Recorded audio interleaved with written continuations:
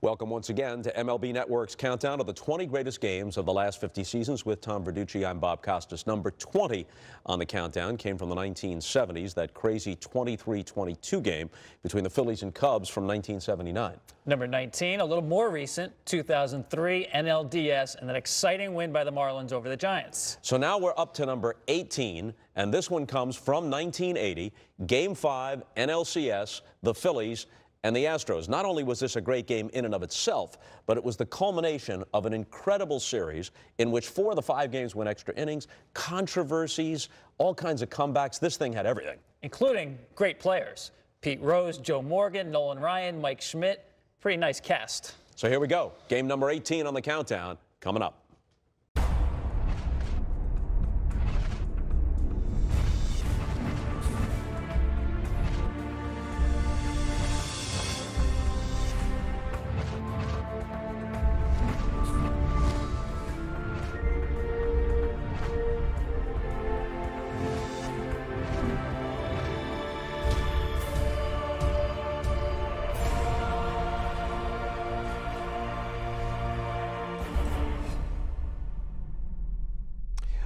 Tom, people are going to begin to think through the first few installments of this series that Larry Bowa is a regular. He was with us for number 20 as the Phillies shortstop in that 23-22 game at Wrigley in 79.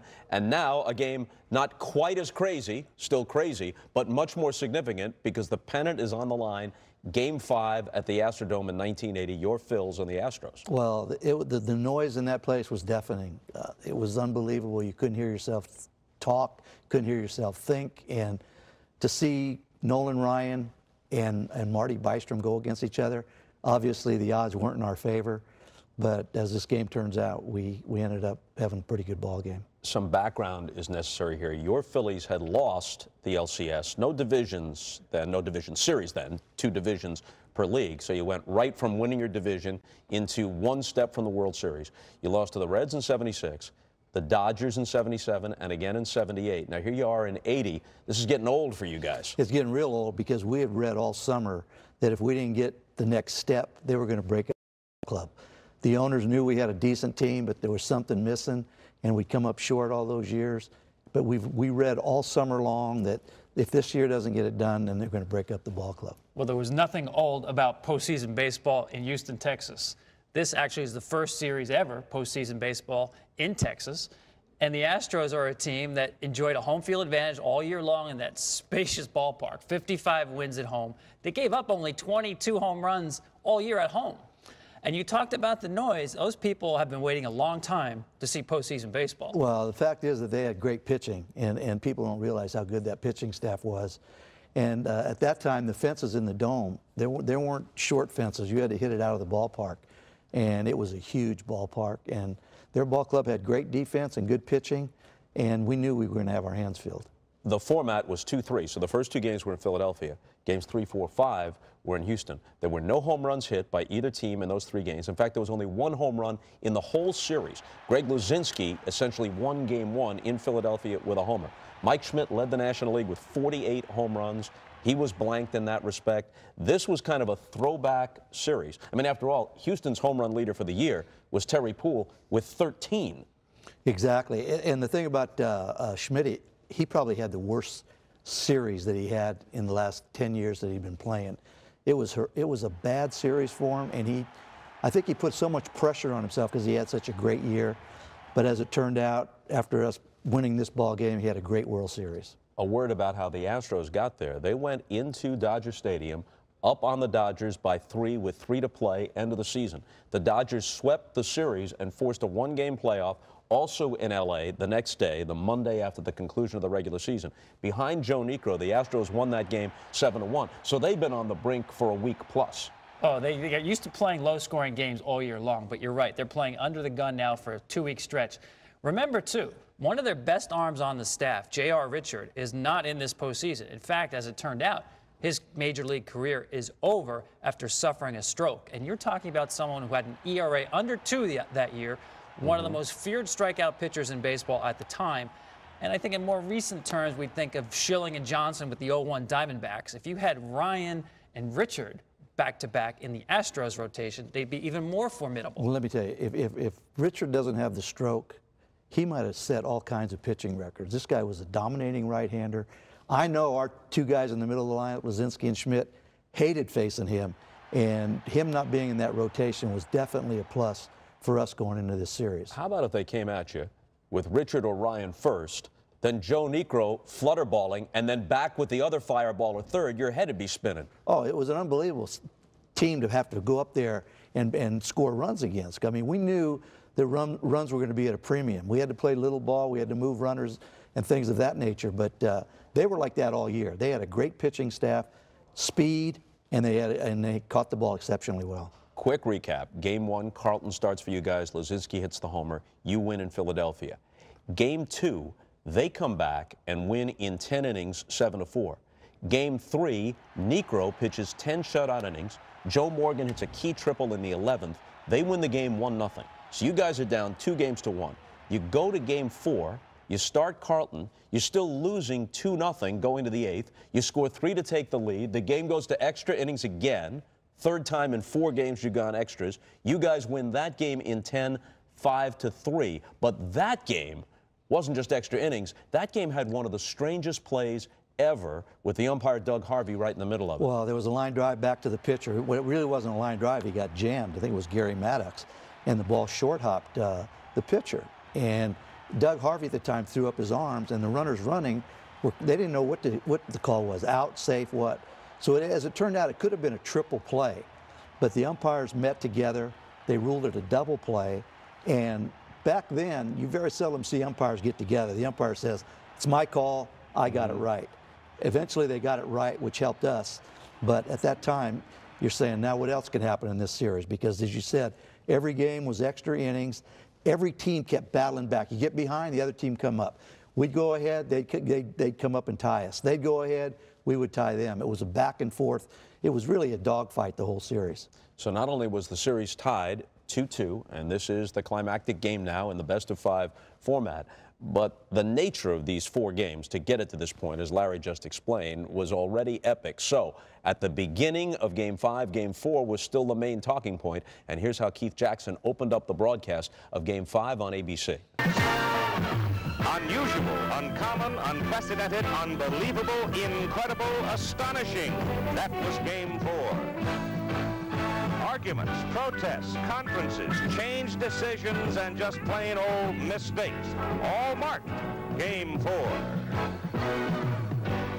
An admitted gamble by Pete Rose led Philadelphia to a life-giving 5-3 win. Now one game for the National League pennant.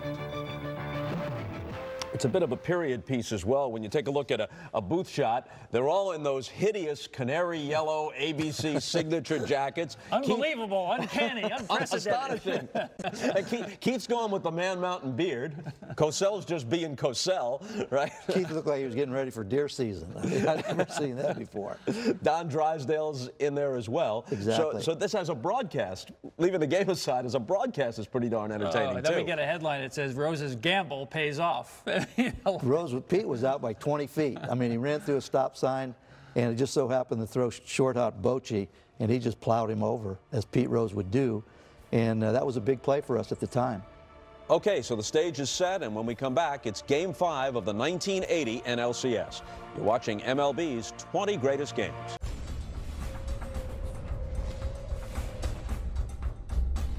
Let's take a look at the starting lineup for the Phillies. Pete Rose at the top, then Bake McBride, Schmidt, who wound up 5 for 24 with six strikeouts in the series, Luzinski in the cleanup spot, Trillo, who offensively and defensively was never better than in this five-game stretch, the terrific defensive center fielder Gary Maddox, our Larry Bowa is at shortstop, Bob Boone is the catcher, Marty Bystrom, not the youngest guy ever to start a postseason game, but one of the most inexperienced, brought up in September, five starts, won them all. 5 0. Still, you're handing him the ball against Nolan Ryan. Well, the pressure there obviously had to be immense for him, but without him, we, will, we do not win our division. This guy came up out of the minor leagues. Uh, we knew he had good stuff, but we didn't know he was going to do what he did 5 and 0. And then he, he matched zero for zero with, with Ryan. He went into the sixth inning, I think, and then Dallas had to take him out. But without him, we would have been watching the World Series. And Larry, you talked about needing to play little ball in that ballpark. That's a great Philadelphia lineup. Second in the league in runs scored, Mm-hmm. first in slugging, first in total bases. There was a lot of thump in that lineup. We had a lot of thump. I mean, we, and we could do, we could beat you two to one. We could beat you ten to nine. We caught the ball. We had guys that could steal bases. It was a complete lineup, basically. Uh, depth-wise, in the rotation, might have been a little bit of a weakness. We had a good back end of the bullpen, and we knew we were pretty good, but we just kept coming up short, and we knew we had to win this series. Dallas could have gone with Dick Ruthven, who had opposed Nolan Ryan in game two. So he, like Ryan, would have been going on three days rest. He had had a very good year, veteran pitcher. But it must have been Dallas Green's gut that this kid, Marty Bystrom, was on a roll and he'd go with him. Well, one thing about Dallas Green, he wasn't afraid to use kids. That whole month of September when we were scraping, he brought up some guys to sort of, he says, wake up the veterans. I remember bringing up Lonnie Smith, Keith Moreland. Those guys played, and he wasn't afraid to throw a rookie out there. And obviously, what Bystrom did in the month of September, he was going to reward him. You know, he said, hey, without you, we're not here. You get the ball. Bill Virdon, who found himself in the middle of some of the most memorable games in baseball history, remember the Pirates in 1960 and that game seven, he's the manager of the Houston Astros. And here is his lineup Terry Puhl at the top, Enos Cabell's at third. Joe Morgan, who had his greatest years with Big Red Machine, but is still a very valuable guy, is the second baseman hitting third. Jose Cruz in the cleanup spot, Denny Walling, Art Howe, Luis Pujols, Craig Reynolds, the shortstop, and Nolan Ryan on the mound. Now, here's a guy who'd win more than 300 games, pitched seven no hitters, the all time leader in strikeouts. He goes against Marty Bystrom. Well, we knew we had our work cut out for us. We had faced Nolan Ryan a number of times, not only in Houston, but our ball club faced him when he was with the Mets. And we knew what a competitor he was. Uh, we felt that it was going to be a very low scoring game. As it turned out, it was for a while. And then obviously the wheels fell off for both teams. And both teams ended up scoring a lot of runs. Now, Nolan Ryan is going on short rest in this game, which is not even worth mentioning in 1980. Right. Today, it's a big deal. Nolan Ryan made more than a third of his major league starts on three days or fewer. So they're not asking him to do anything that was anything out of the ordinary. And he had only pitched into the seventh inning in game seven. So for him, that's a relatively low pitch count. Tom, this guy was a horse. I mean, he never got tired. He kept grunting when he threw. You know, fastballs 97, 98, unbelievable curveball. He would th- pitch inside, use both sides of the plate. He was he had a mean streak in him when he was on the mound. So we knew that going in, this was going to be a tough battle. With our kid on the mound, Bystrom, we wanted to keep it close, and uh, it was a good ball game. Okay, let's get it started. Top of the first inning, Pete Rose leading off against Nolan Ryan. And it's a typical Rose reaction from These the are two great competitors right here. I mean, They know he's poisoned. Pete, Pete didn't want to get, let him get him out, and Ryan didn't want him to get any hits. So, right from the start, you could see the intensity with both these guys facing each other. Full count to Rose. Got him. Right there, we thought it might be a long day because that if Nolan Ryan's going to get that pitch, that's what the first thing Pete said. He said if he gets that pitch, it's going to be a long day. Side corner to the right-handers. It will have a tendency to tail and sink away. Rose really not too happy with that call. Yet This he- pitch is off the plate. That's a veteran umpire back there, Yep. Ed Vargo. But you can watch the way Pujols pulls that ball back. he knew it was outside. They all knew it was all outside. All right, so Ryan gets through the first without incident. And now here's Marty Bystrom on the mound, facing an Astro lineup, which, by the way, does not include perhaps their best all round player, Cesar Cedeno, who injured his ankle in game three of this series and was done for the rest of the series. So here's Terry Puhl starting it off. Well, let me tell you about Terry Puhl. This guy might have had the hottest series I've ever seen of any hitter. It didn't matter what we threw him fastballs, curveballs, changeups, sliders. He hit the ball hard and often, and he, he had a tremendous World uh, playoff series. So he leads off with a hit. A batter later, there's one out. He's still at first, and Joe Morgan is at the plate. To me, this man is the story of this series. A great professional. Even though Joe Morgan was towards the end of his career here, he was a threat. And our pitchers knew it. And we had to pitch this guy very carefully because if you made a mistake, he was going to hurt you. Here goes Puhl. Safe. Close. They came out very aggressive. I mean, they, they're going to test this rookie and try to put some people in motion. Now, Joe hits this ball pretty well, but this is the Astrodome. This doesn't even make the track. That's not even close. And he did hit that ball very well. And you see the aggressiveness of Puhl right there. Good speed. uh, he really made that ball club go. So Puhl tags and advances. And this brings up Jose Cruz, who's in the cleanup spot, man at third, bottom of the first, two out, no score. Third and Cruz, like Morgan, has walked six times so far. 2-2 to Jose Cruz. Right side, base hit. Houston gets the lead. Cruz scores from third. And right away, the crowd's into it exceptionally right there because scoring early, Nolan Ryan on the mound, a rookie on the mound. I think they felt they had everything going in their direction right there. Uh, you could see the intensity in their dugout. They were all excited. They probably knew they didn't have to score too many runs with Nolan Ryan on the mound. Larry, you understand every game in this series, the Phillies had to play uphill. The Astros put the first run on the board in every game in this series. And, and that's how it was the whole season for us. It seemed like we were just climbing a mountain, climbing a mountain, and eventually it paid off.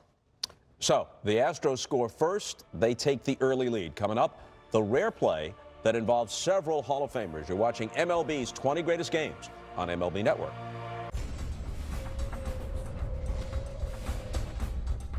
Welcome back with Tom Verducci and Larry Bowa. Bob Costas as we review Game 5 of the 1980 NLCS between the Phillies and the Astros. The home team has scored in the bottom of the first. Phillies come up top of the second with one out and nobody on. Manny Trillo faces Nolan Ryan.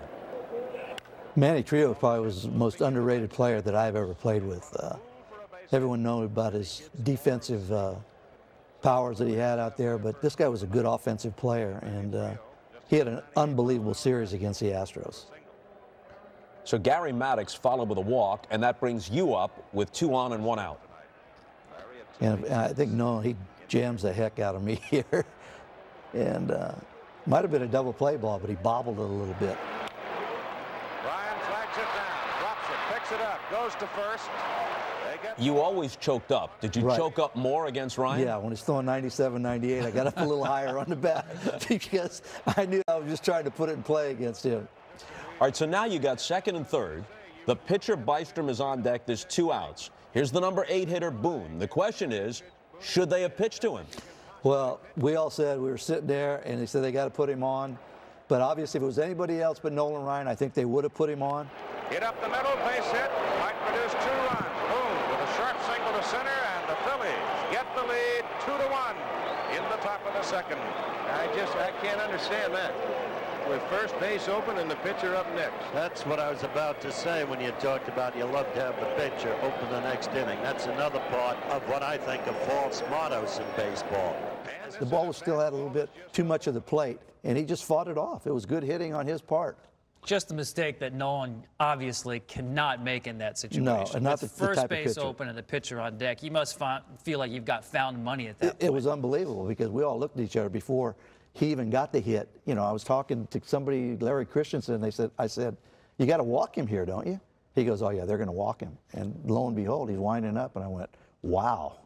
So it turned out great for us.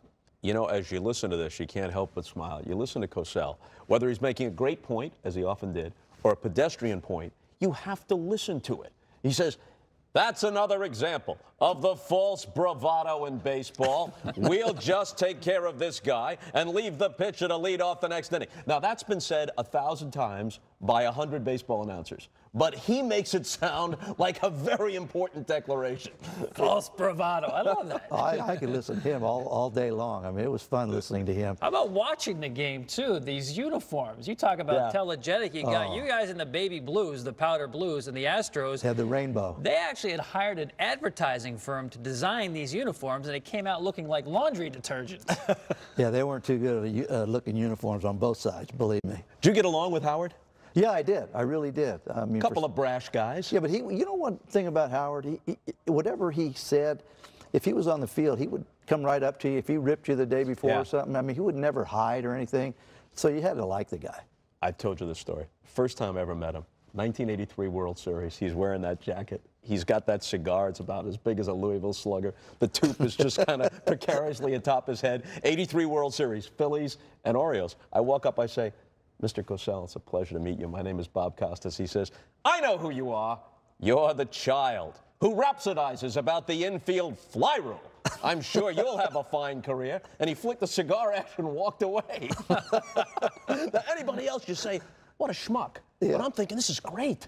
Howard Cosell delivered a totally Cosellian performance directed at me. This is great. I mean, you felt like it was an honor when he talked to you because, you know, you're doing the, the, the Monday night football and everything. I mean, this guy was a, a star. I mean, for him to come down and talk baseball with you was something special. All right, so here we go. Cosell and Drysdale and Jackson are talking baseball, and the Astros are now trailing two to one as they come up in the bottom of the second. After an Art Howe pop-up and a Luis Pujols walk, Craig Reynolds is at the plate facing Marty Bystrom. Craig Reynolds at the plate. He's only had the ball out of the infield once in 12 at-bats. Looks as though that you've got two offensive units that are saying the same thing. And that is when they go up the home plate, make him throw strikes.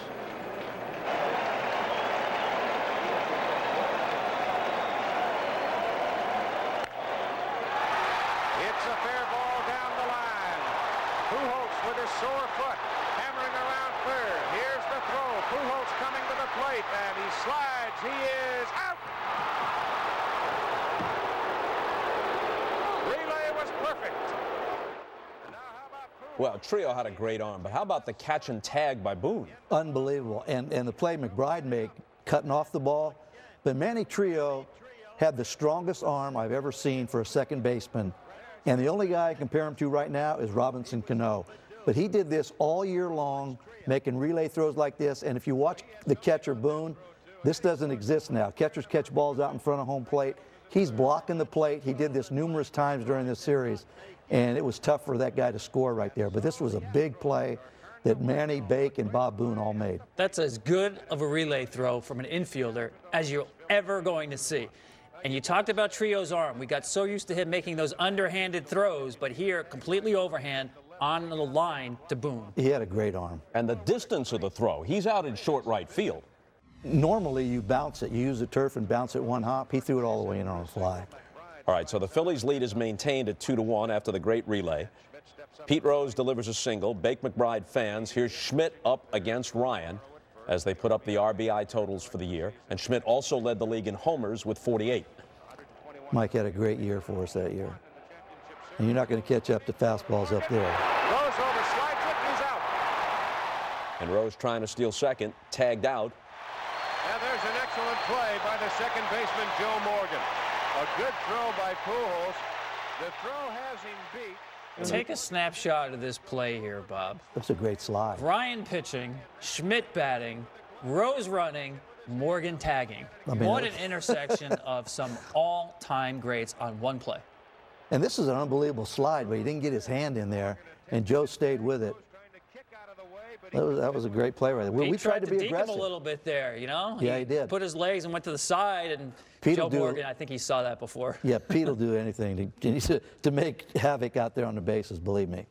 So it's still a 2 1 game, but this has had a whole lot of stuff already for a game that's just 2 to 1. Well, we, we- you know, Pete wasn't really fast, but we tried to make some things happen there. We wanted to put Burns in motion. Hopefully, we'll get an extra base there. But uh, you know, Dallas said, let's, let's you know, we got to be aggressive here. And people have to remember, Pete Rose in this game, he's 39 years old. You watch him play, you would never guess this was someone late into his 30s. He's 39, playing like he's 23. That's how he played every game. We've gone through two and a half. The score is two to one. There are more runs and more action, more controversy, more things to talk about on the way. This is MLB Network's 20 greatest games.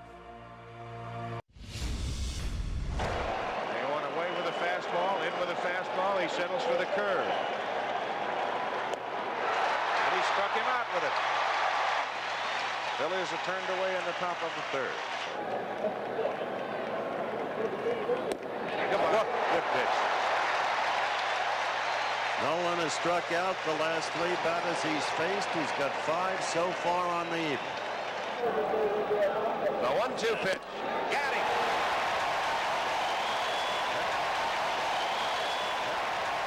Well, Larry, as you said near the beginning of the game, if Ed Vargo is going to give Nolan Ryan that pitch on the corner, forget it. I had no chance there. I mean, where he put that pitch at about 97, and I just walked away. That, that was a better pitch than the, the one they called Rose out on.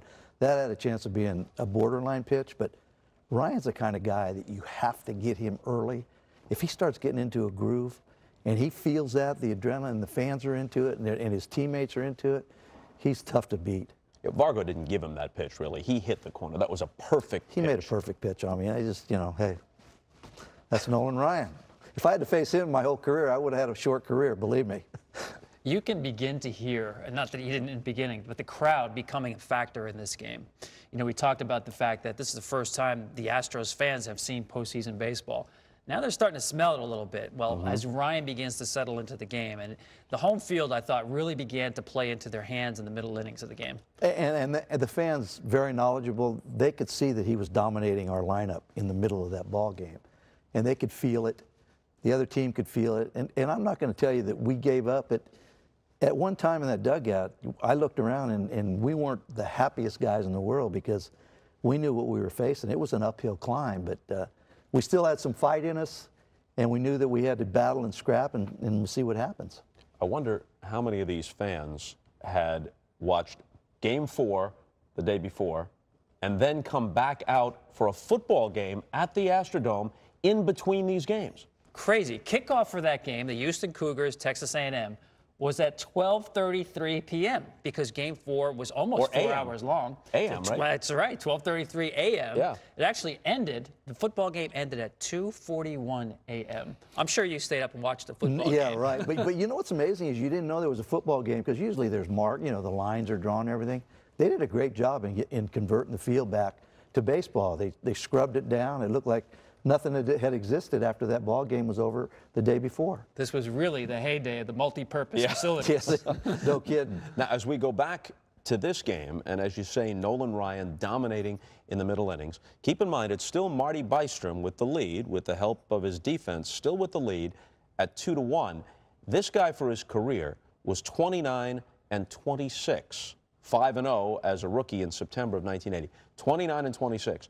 Right now, he's pretty much matching one of the greatest pitchers of all time. Oh, he did a great job. I mean, we basically going in there, we felt if he could give us five innings and we were close, that we would be very satisfied because our, our starting pitchers were pretty much used up, and uh, we knew Carlton wasn't available. We had to use Christensen, we knew that. But uh, we, if we could have got five innings out of Bystrom, which we did, that's what, what we were hoping for.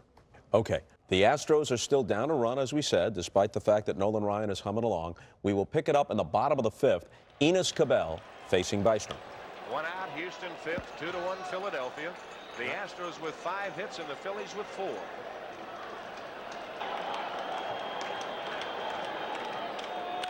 Hit to the hole. Enos Cabell finds the hole. Enos Cabell. And, you know, once you feel these fans starting to get, you know, I think it might have affected Marty a little bit. Uh, I don't think he's pitched on that kind of stage before. I mean, even though those games in September were important, the magnitude of this ball game, I'm sure he started to realize that, hey, I got a lead here.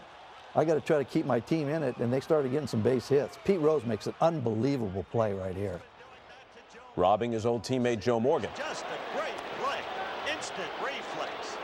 This one looks So now Cabell advances to second. He's there with two outs. Got it. Cabell would have gone to third, but Rose And it- for people that never realized that that turf, that turf was like playing on a runway of an airport. It was exceptionally hard. And for Pete to make a play like this, this was a great play holding the Watch runner. Rose. He's calling off the pitcher even oh. before he's popped up out of the dive. I've got it. No problem. Pete didn't make too many mental mistakes. That's Cabell at second. He's All right, so the batter is Jose Cruz.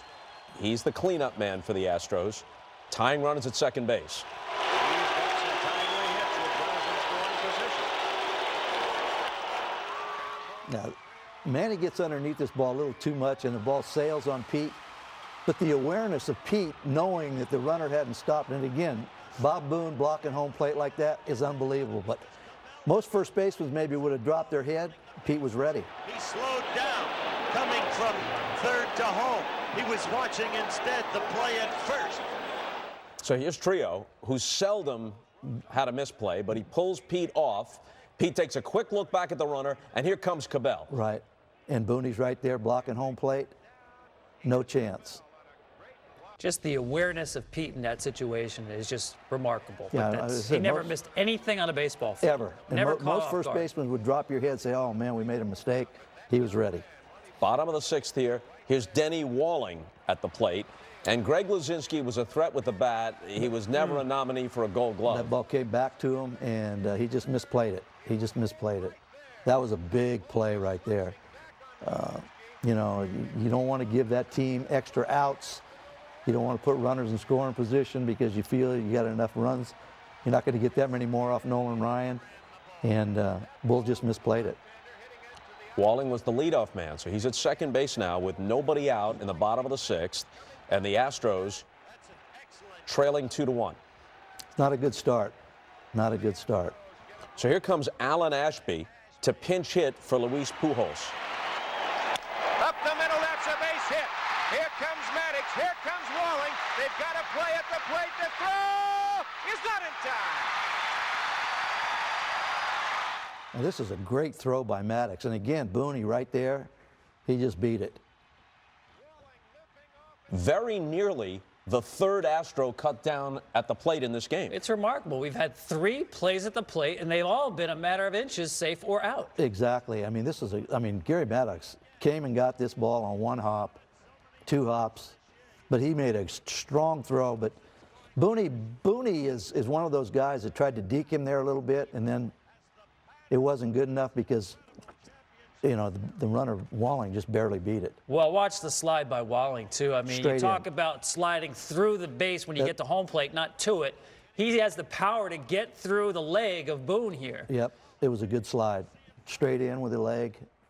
Didn't do it with his hand like everybody does. He came straight in. So game five's tied at two, but one of these teams is about to break through.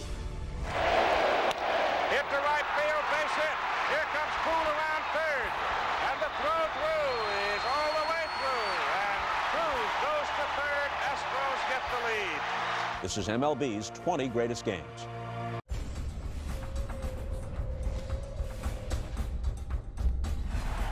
Back now with Tom Verducci and Larry Bowa as we pick it up in the bottom of the seventh. It's a 2-2 game. Larry Christenson is on for the Phillies.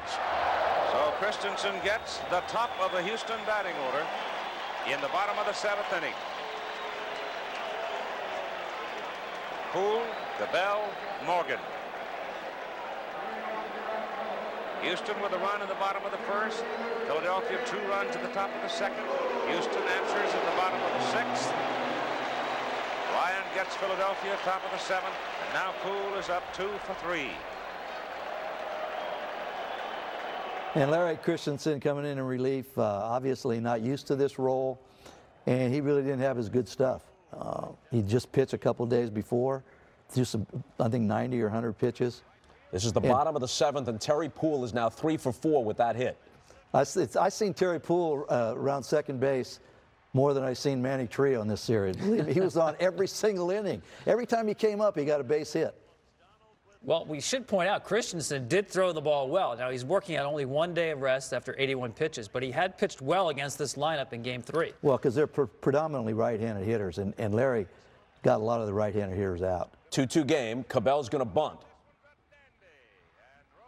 You can see they're, they're, they're, they're, they're smelling it right now. They're having Cabell bunt, move the runner, nice bunt. Uh, Christenson just didn't watch these. If you watch these pitches, he just was up. He was up a lot. Man on second, one out. Morgan grounds out. Jose Cruz walks. Two on, two out. Denny Walling is up. Christenson to Walling. Hit to right field, base hit. Ball's right down the middle of the plate there. One thing about Houston, a very good fastball hitting ball club. And if you leave them pitches in the middle of the plate, fastballs, they're going to hit them. Now the crowd's really into it. You're not feeling real good about yourself. The momentum's changed. Uh, well, the one thing now, the noise is unbelievable right now. There is no containing this crowd now. The batter is Art Howe. But remember yesterday, and the Phillies eighth. Bounces, gets away from Boone. Cruz coming to the plate. Scores. So Cruz comes across on the wild pitch, makes it 4-2. Was Boone crossed up because he was such a good defensive catcher? I don't know if he was crossed up, but I had never seen him miss a ball like that. He usually keeps the ball in front yeah. of him. And that's, you know, talk about momentum now. You can feel it out there in the field. You can see it in the dugout. And uh, it was a big play at that time. But uh, like I said, Booning very seldom. When he blocked a ball, it usually hit him and dropped right in front of him.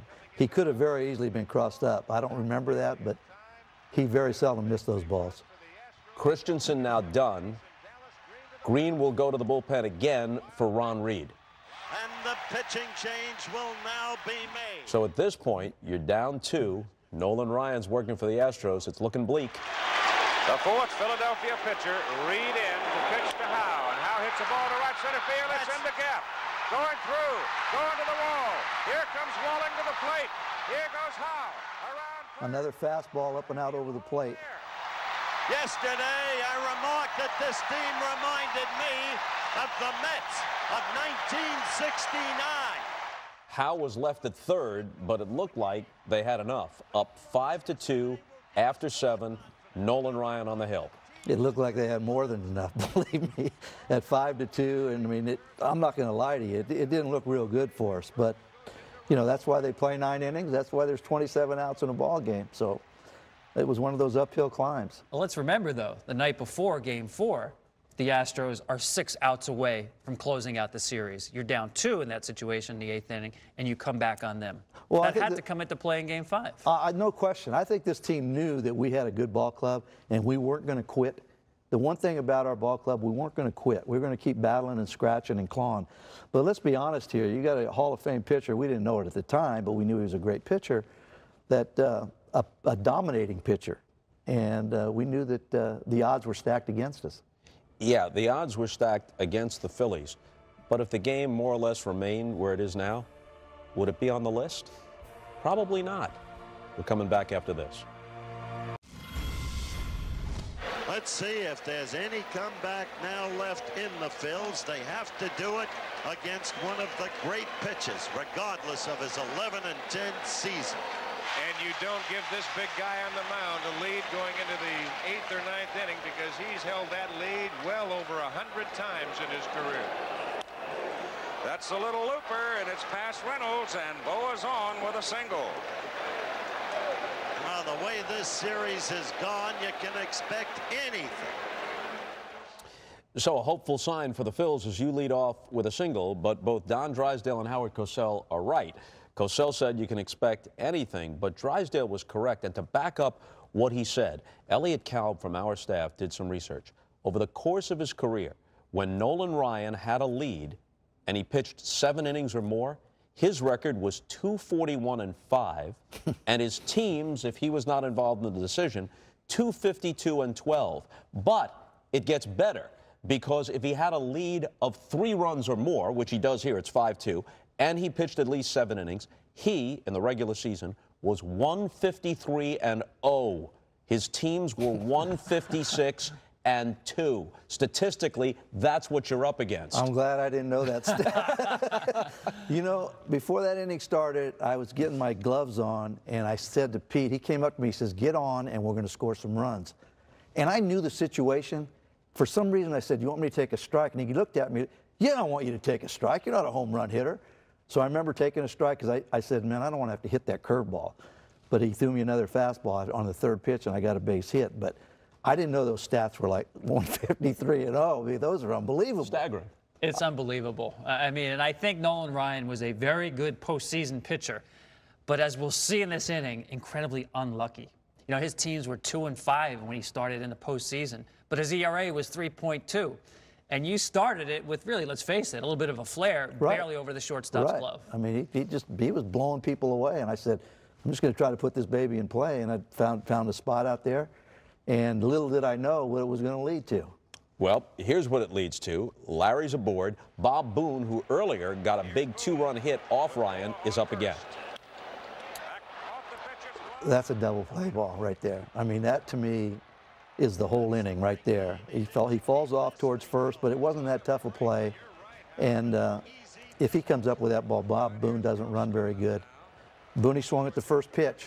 So people want to know why is he still in there? Well, everything I swung at the third pitch, he swung at the first pitch.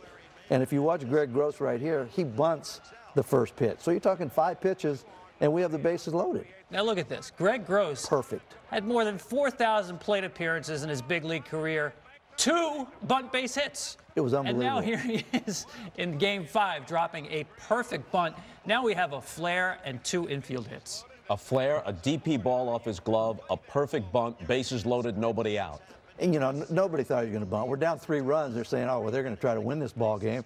He's going to try to hit a double here and score a couple runs. But he laid down a blueprint bunt right there. And here's Mr. Trouble, Pete Rose. The Phils, who have never won a championship series. If they lose now, nobody can call them chokers. Nobody can call them quitters. They don't knuckle under, and they haven't.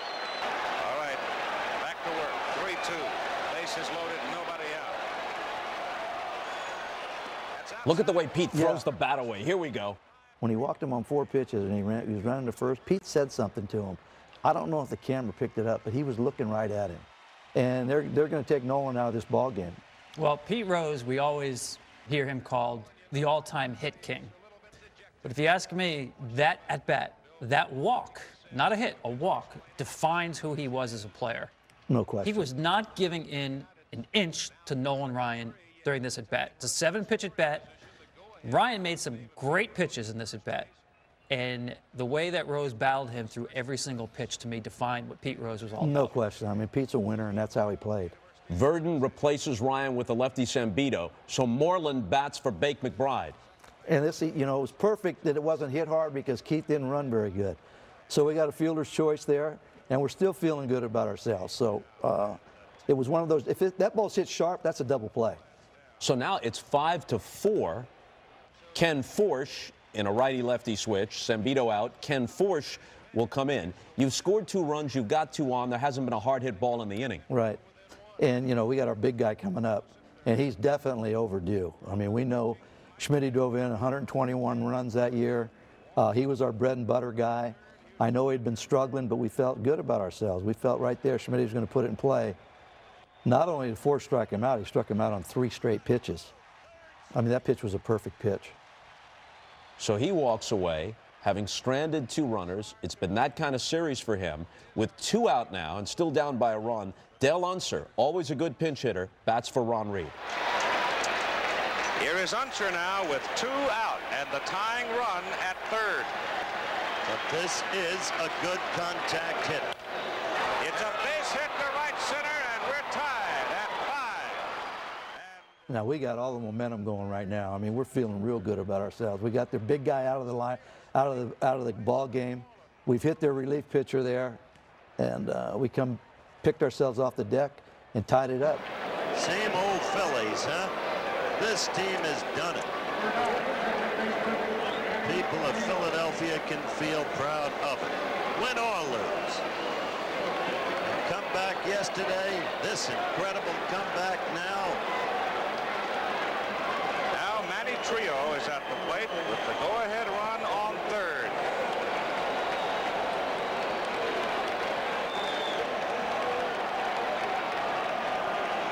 Curveball down the left field line, base hit going to the corner. Run scores from third. Phillies get the lead. Ball's loose in the corner.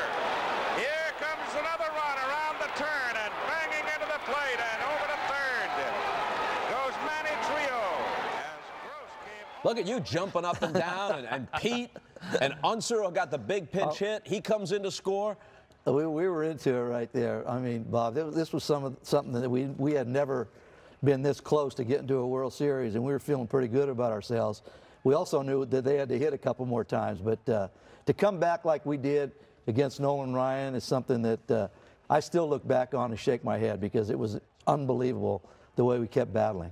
I wanted you to look at this at bat again with Rose because I thought he was the element that the Phillies team really needed, the one who really put you over the top. Joined the team the previous year. The Astros this offseason went out and got Ryan. This is the at bat to me, as I said, defined Pete Rose as a guy who never gives in an inch. Uh, there's no way he's losing this at bat, put it that way. No, this, this, I mean, he was battling. He, he, he, he could feel this momentum change right here. And this was a huge at bat. He knew that this was a big at bat, not only for him, but for our ball club. Laying off pitches that were close right there. I mean, that looked like it was way up. But when Ryan throws a fastball that starts right at your waist, it's got some unbelievable giddy up to it.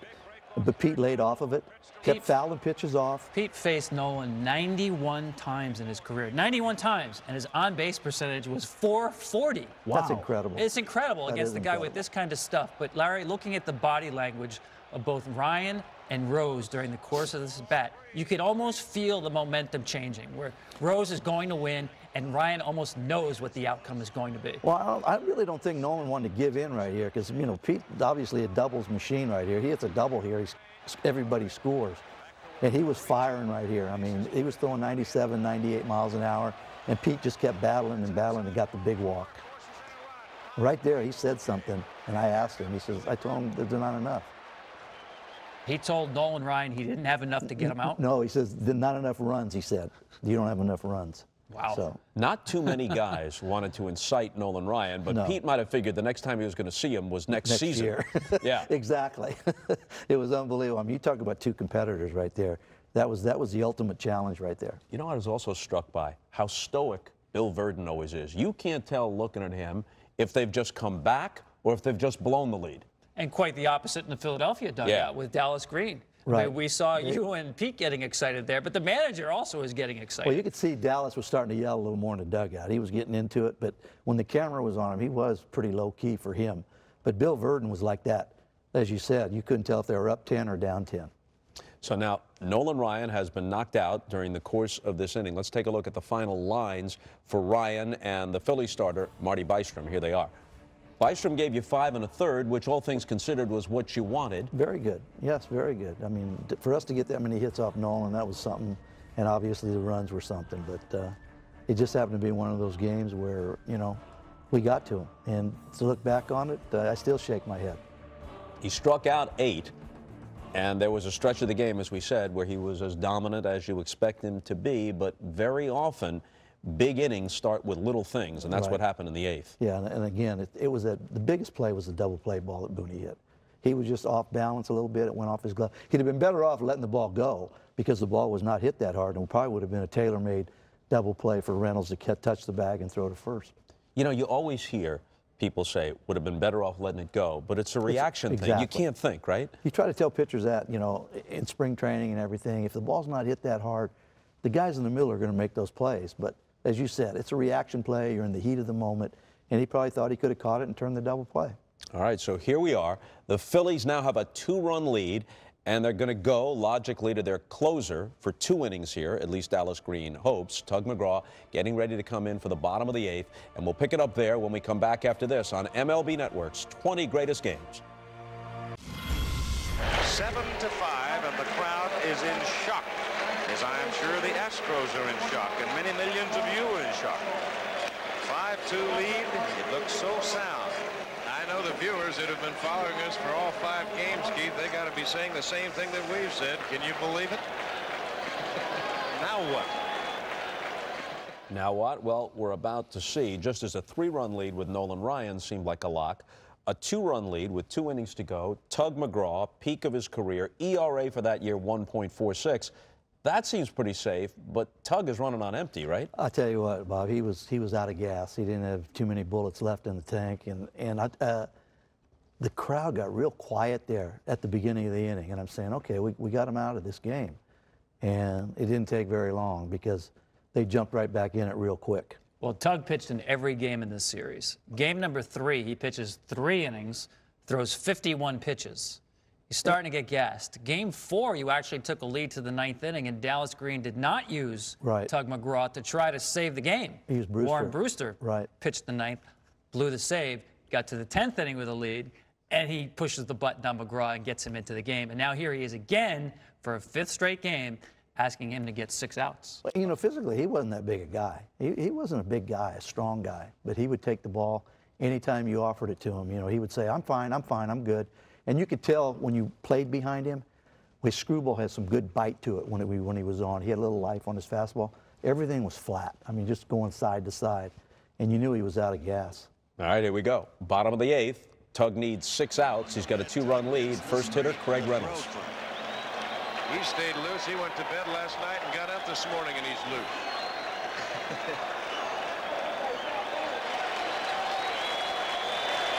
One-two pitch to Reynolds, leadoff hitter. There's, there's a pitch right there. It was a perfect placement. Manny Trillo makes a good play. Reynolds runs exceptionally good. And right away, you say, uh-oh, here we go again. I mean, he made a good pitch right there. He jammed him, but it was in the right place, and Manny did all he could, and Reynolds is an exceptional runner. Broken bat hit. Now here's Puhl, who's having a great game. You can't get him out. I mean, just you should just put him on. I mean, it didn't matter what we threw this guy. It was unbelievable. He's the tying run, though. Unafraid. Here's Terry Puhl. There's one out here. Gary Woods had struck out. There's his fourth hit. And Not that only ball- that, it's his 10th hit of the series. Oh, I know. Which is a new NLCS record. And who had the old record? The guy who meets him at first base, Pete Rose. And don't think Pete didn't know Oh, I'm either. sure. I'm sure Pete says, "What are you doing up there?" He said, "We can't get you out." Yeah, Pete turned to him and said, That's what records are for. They're made to be broken. No one knew that better than Pete. So here's Enos Cabell with a big chance. Runners at the corners. Tying runners at first. One out. Strike three. You know, you would- there, Enos is definitely looking screwball off speed there, and he threw a fastball. That ball's right down the middle. If he's sitting fastball, he probably hits that ball, but he was probably looking off speed. What a job by McGraw. Now you got Jose Cruz in the on-deck circle for the Astros, but Rafael Landestoy's got to get on to get him to the plate and to pull the Astros a little bit closer. He has only one hit to this point, as you saw from that graphic in the LCS. And, and Tug makes a. This is a bad pitch. It's a screwball. He leaves it up in the middle of the plate. Hit in the hole to left field, base hit. Run scores from third, Reynolds Puhl to second, and he holds on. It's a seven to six ball game. Well, that's the run that I was talking about, Keith. They got to get that run at least in from third with one out. There's the line drive, just a soft line drive by Mike Schmidt. And let's remember, Landestoy came into this game replacing Joe Morgan. And it was the right move for Bill Virdon to make because Morgan had a little bit of a hamstring. So with a lead, Virdon wanted his best defensive team on the field, and that meant putting Landestoy in for Morgan.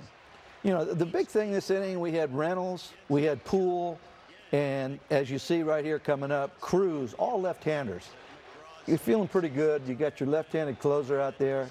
I mean, even though Tug was out of gas, I still liked our chances with lefty against lefty, and all three of them did damage. All three of them. Here's Jose Cruz. Up the middle, it's going to drop to a base hit. Here comes the tying run around third. And we're leaving at seven. I don't believe it.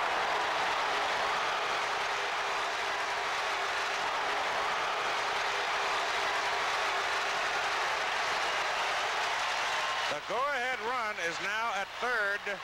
And now you're there saying, uh-oh, what now? I mean, how many more times can you keep coming back? And the crowd's into it again. And look how exultant Bill Virdon is. Calm down, Bill. so the Phillies come back on Nolan Ryan. The Astros come back on Tug McGraw. And Dallas went out there, and I, I was right near the mound. He says, "How you feeling?" Obviously, I feel great. A lot of blue pits. He says, "I feel great. Let me let me go. Let me go." So, um, you know, Dallas was going to stay with him. We didn't have too many options at that time, trying to get out of this inning, and uh, he got us out of the inning. He did, although he's blown the save. He still needs an out to escape the eighth, with the game now tied. Denny Walling is the hitter for Houston. Hit sharp with a ball to shortstop. Over to second to Trillo to get the force. we have played eight innings of baseball in an incredible series between the Phillies and the Astros. And we're all tied at 7-7 going to the top of the ninth inning. Well, I think I'll just take a deep breath with you and rest. It's a remarkable display of two teams who have blended themselves together under leadership and who have about as much determination, as much spirit, much competitiveness as you'll ever see in sport. And here's the part that's a shocker given everything that's gone on in this game and in this series. The ninth inning is uneventful. Frank LaCorte on the hill now for the Astros takes care of the Phillies in the top half. Bottom half of the inning, you go to Dick Ruthven, normally a starter, but everybody's available just about for this game out of the bullpen. So he takes care of the Astros in the bottom of the ninth. And what do you know? For the fourth time in five games in the series, extra innings. Well, we were all out of gas. I know that. Emotionally, physically, uh, these games took its toll on everybody. But you, you didn't lose your concentration or the intensity always was there. And we just needed a break, and that's exactly what we got. You got Mike Schmidt leading off in the top of the 10th against Frank LaCorte. And Schmidt is just having a devil of a time in this series. 0 for 4 in this game. And here he goes against LaCorte. Two strikes on Mike Schmidt. And that's the book on Mike. You try to pitch him up and in, and he just had one of those series where I just think that he was just trying too hard. He, he carried us all year. We were in a position to get to the World Series, and I just think he's just trying too hard every at bat. In the eighth, when Schmidt fanned with runners on in a key situation, Del Unser picked him up following with a hit. Now here there's nobody on and one out, but it's Unser up again. Down the line to the corner by Unser. Unser around second. The ball comes in, and he stands there with a double. So that's twice Del Unser, a reserve, has done it. There is a wicked hop off the AstroTurf over the head of Dave Bergman, who's playing first. And that's a break that we, you know, we're saying, hey, this might be it. This might be it. It, was, it took a bad hop right there. Uh, maybe it was because of the football game the night before. I don't know. But we needed something like that. We felt pretty good right there. But without our extra guys, Gross, uh, Unser, Aviles, Moreland, we'd have been watching the World Series. Those guys all contributed unbelievable for us. And you don't win a series with just your eight starting lineup. We had a good bench. Manny Trillo flied out, and that advanced Unser from second to third, which brings up Gary Maddox with two out and the go-ahead run at third base. We're in the top half of the 10th inning of Game 5. Maddox is the batter. Gary swings. It's a base hit. Puhl overruns it. Run scores from third. Unser to give Philadelphia the lead, eight to seven in the top of the 10th. We felt, felt good about ourselves right there, but we knew they had to hit, so we had to go back out there. Eight to seven. Bill Virdon still not giving anything away. Another look at the hit, and as you say, Puhl almost made the play. Unbelievable. I mean, I thought it was a hit as soon as he hit it. He just misses this ball, and this guy played great the whole series, and it wouldn't have shocked me if he'd have dove and caught that ball because the series that he was having offensively and defensively. Here you are. That's the hardest ball I hit. I hit it too. Pete says I hit it too hard. He says you got to just bloop it over the infield. So you got a one-run edge to work with. It's 8-7 going to the bottom of the 10th. Got a pinch hitter. We've got a pinch hitter now. Heep comes to the plate. Danny Heep. It'll be his first appearance. Hits the ball in the air on the left side. Pinch hitter Danny Heep looking to uppercut that ball and pull it, but instead he pops to you in shallow left. Puhl was the next hitter. He had four hits in the game. He lined out hard to center field, and that leaves it up to the last hitter in the game, Enos Cabell. He hits it to right center field. Maddox going. It's over. That was like somebody just lifted a big elephant off our shoulders. I mean, we had come so close every those all those playoff years and come up empty. And believe me, when this game was over, there was no pressure when we went to the World Series. Every one of these games was pressure packed. Uh, we took it to the limit every game, and we just felt good about ourselves going in and playing Kansas City. And we'll talk about that World Series against the Royals and have more on the aftermath of this epic series against the Astros when we come back on MLB's 20 Greatest Games. 3-2. He hits it to right center field. Maddox going. It's over. The Phillies win it. 8 to 7. So they are not the same old Phillies. They are the 1980 Phillies. They did it as hard a way as it has ever been done. They did it with a controversial manager, openly disliked by many of his players, but they did it. And they did it because somewhere within them, there was a spirit that would not be quelled. So it doesn't often happen that way, but the World Series, in a sense, after this, was anticlimactic. I'm telling you right now, I, felt, I never felt any pressure at all in any games except this series right here. It was just, it was something about the crowds, the atmosphere, um, knowing that this was our last year together if we didn't win, and to get there doing it the hard way like we did, I think it made us much tougher. We were very resilient, and we felt good going into this World Series. Quick story in the aftermath here. Terry Puhl, we saw him, outstanding series, 10 hits in that series.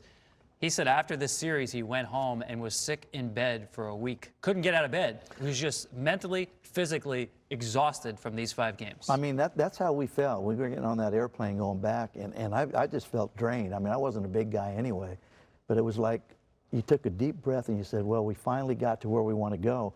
And I don't think we were really thinking about the World Series. The fact that we had overcome this obstacle that we've been trying to do for three out of the four years, it sort of relieved everybody. And we went into that World Series. It was pressure free. As far as I was concerned, I felt whatever we did now was icing on the cake.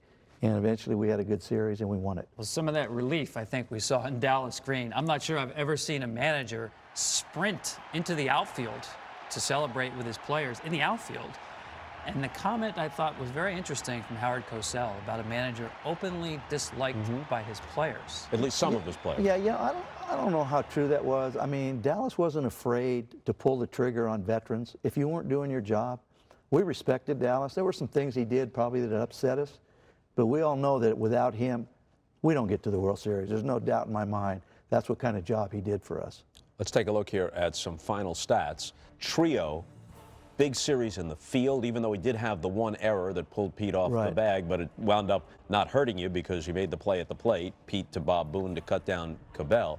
But Trillo did just about everything right in this series, including that big triple down the line in the eighth. No question. And, you know, somebody would have told me that, that your MVP, Mike Schmidt, would have had the series that he had, think you would have won it, I'd have said there's no way because he was – he was that much of an offensive threat for us. And we picked him up, and as everybody knows in the 80 World Series, he was the MVP. So he bounced back and had a great series. He hit 381 for the series on 8 for 21, in addition to his fabulous play in the field. Right. And it was, it was something that you look back on, and, uh, you know, everyone says, does that bind you guys together? And it, it definitely binds our ball club together because we had come up short so many times and finally get over the hump. Uh, you still see guys at card shows and see them during the summer at times, but it, it, it, there's truth to that when they say, if you win a World Series, is it forever? And it is forever. It's the great thing about baseball, isn't it? We talked about the superstars in this game, the all-time greats, the Morgans, the Ryans, the Roses, the Schmidts. And Manny Trillo is the one who's the MVP mm -hmm. of this mm-hmm. series and came up with the big hit. Yeah, you know, that really wasn't shocking to me. Not that he was MVP, but he, that's what kind of player he was. Very consistent, uh, he stayed in the background, but he got big hits all year for us, made every play out there. Tremendous pivot on a double play. I don't care where you threw him the ball, he was going to turn it, but he had a great series. Let's take a look at the Astro lineup. Puhl was four for six. Even when he made an out in the bottom of the 10th, the second out, that ball was hit right on the screws. It was a line drive right at, at Maddox. And I'm, you know, when he came up, that was the only guy I really thought in that lineup at that time. We're up by one. I said, the way this guy's going, he's liable to hit one in the seats. And he hit it hard, but it was right at Garry Maddox. And you really, really have to feel for the Houston Astros. I mean, they don't have any curses associated with them. Mm -hmm. There's no Billy Goats. But the fact is, they a terrible series for them to lose, having to lead in, oh. every, in every game. But also, their first seven postseason series, the Astros lost them all. Many of those games in excruciating fashion. How about in 86 against the oh. Mets? Right. Just think about that one which which might show up somewhere I have a feeling on this list. That's possible. I, I, think what hurt them more than anything is that they had their, their guy they wanted on the mound. You know, if, if they had to start a rookie or, or their third or fourth pitcher in the rotation, you know, you might deal with it, but they had their big guy on the mound, and they had a lead, and it didn't work out for them. Let's keep this in mind. Even though you've won this nearly unbelievable series, you go on to the World Series. They haven't been in the World Series in 30 years since the Whiz Kids were swept in 1950 by the Yankees. You go against George Brett and the Kansas City Royals. Brett had flirted with 400 at 390 that year, and although you won it in six, change a few things, the Royals might have broken your hearts in the World Series. Oh, there's no question, because all we read about after we won that series was the uh, demise of Gene Mauch when they had that in 1964. Nobody knew about that team. But by the time we got done reading articles, I knew every player on that team. I knew exactly how they lost. But they kept saying, oh, remember 1964 when Gene had that big lead and the Phillies blew it. So that was constantly on our minds after we got by the Houston Astros. And finally, to put everything to rest, to win everything is something that you never forget as a ball player. And Tug McGraw, who couldn't nail this one down in the LCS, was on the mound to finish it in the World and Series. And again, out of gas but he struck out uh, uh, Frank Willie, White, wasn't it? No, Willie, Wilson, Willie, Willie Wilson, Wilson Willie with Wilson. the bases loaded. And pitched in four games in that exactly. series, so he still had something left in the he tank. He had something, but he pitched. I mean, you, if you did that right now with closers, their agents would be calling saying, what are you guys doing, trying to kill this guy? But Tug was the same old Tug. He says, give me the ball. I'll do whatever you want me to do. Okay, so that's game number 18 in our countdown of the top 20 games of the last 50 seasons. How to sum it all up? Well, even from the beyond, Howard Cosell demands the last word, and we'll give it to him. Very quickly, putting it in perspective, it was what we said it was, one of the greatest championship series ever played and probably ever to be played. Dallas Green's use of the word character is, I think, absolutely appropriate. Both teams showed character, tremendous amounts of it. But the Phillies, a beleaguered team in terms of their competitiveness and spirit through the media people through the years, have answered back and have represented the city of Philadelphia enormously well. They deserve everyone's congratulations.